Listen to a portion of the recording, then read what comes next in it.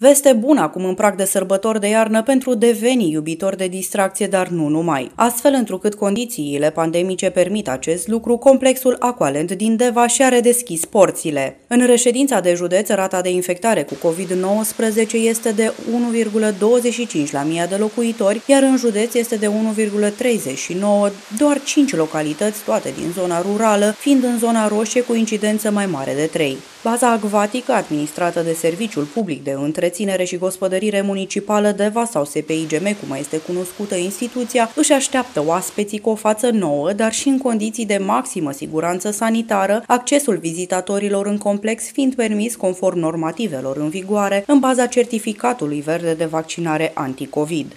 Astăzi uh, s-a redeschis uh, Aqualandul, să sperăm că de această dată porțile Aqualandului se vor mai Uh, închide. Știm uh, cu toții că porțile acolendului s-au închis datorită pandemiei.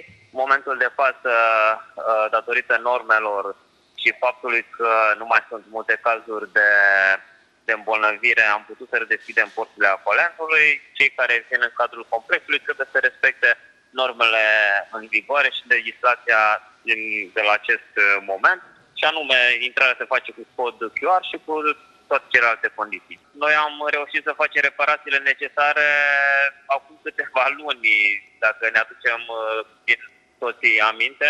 Aproape un an de zile a fost închis, timp în care n-am făcut reparațiile necesare, am uh, mai adus chestii noi, saunele sunt modificate, sunt saune noi, baia cu apur este nouă, Uh, condițiile sunt uh, dintre cele mai bune.